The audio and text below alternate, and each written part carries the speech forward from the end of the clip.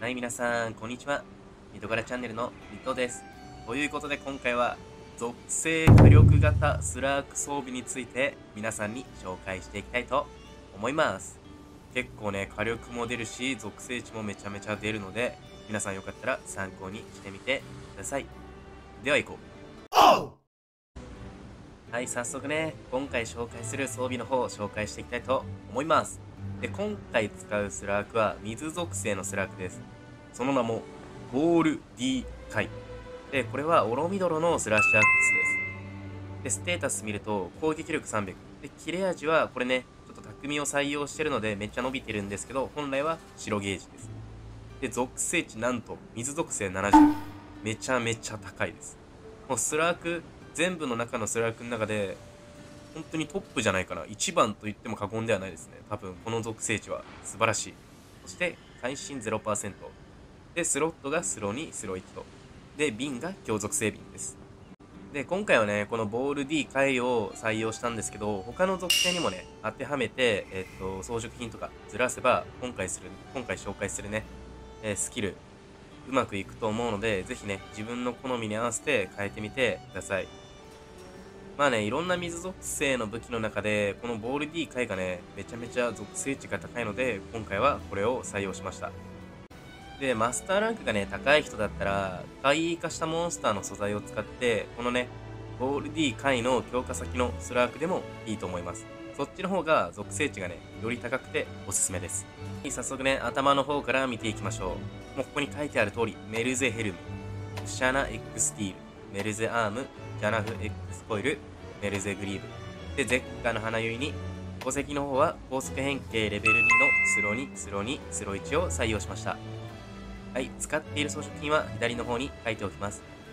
まあ難易度もね、そこまで高くないので、皆さん真似しやすいんじゃないかなと思います。はい、で、早速、スキルとね、ステータスの方を見ていきたいと思います。で、ステータスがなんと攻撃力355で、属性値が驚異の88。これはもうね、スラーク界ではトップですね、本当に。めちゃめちゃぶっ壊れなんじゃないかなと思います。はい、気になるね、スキルの方を見ていきたいと思います。今回のスキルこんな感じです。じゃん。攻撃レベル7。これで火力を十分に補います。で、水属性のスラークなので、水属性攻撃強化レベル5を採用しました。ここに関してはね、自分が使っている属性武器に合わせて変えてみてください。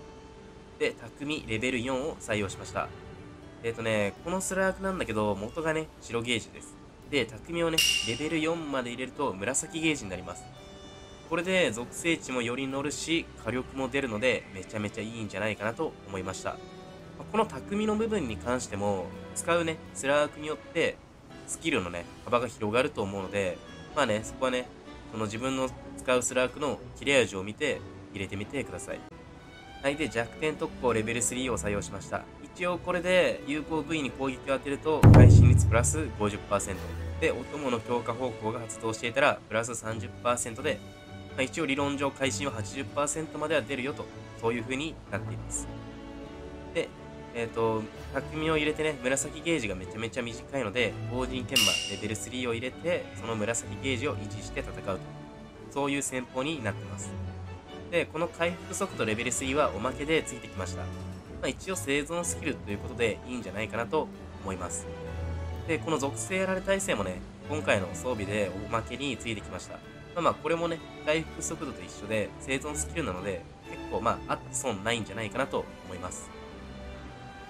はい。で、かけり虫使いレベル3です。まあね、今作は強力な鉄柱式と入れ替え技によってね、早替えかな早替えによってかけり虫もう必須になったので、かけり虫使いレベル3も採用しました。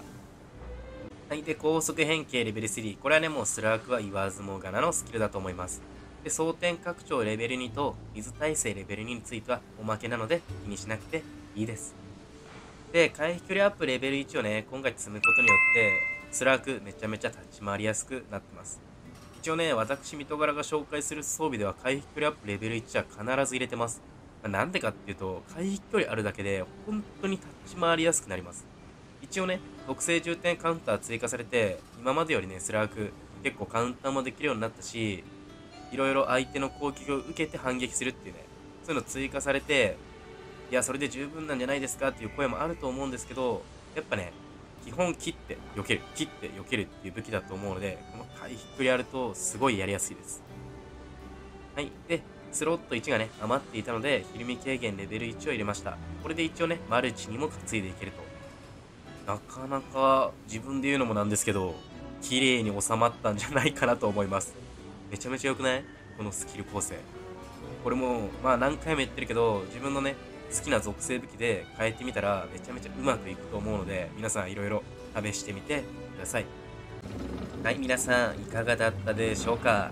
まあね前回かな？前紹介した火力型のねただの装備もいいんですけどやっぱね今回ねスラーク私見と柄がざっと見た感じ結構ねどれも属性値が高いです。だから属性ごとまあモンスターの弱点の属性ごとにスラークを変えて楽しむと。いうのもね、めちゃめちゃ面白いので、ぜひね、この装備を参考にして、属性武器で攻めると。そういう立ち回りをしてみてください。かなり面白いです。はい、今日の動画は以上になります。それでは次の動画でお会いしましょう。さらば。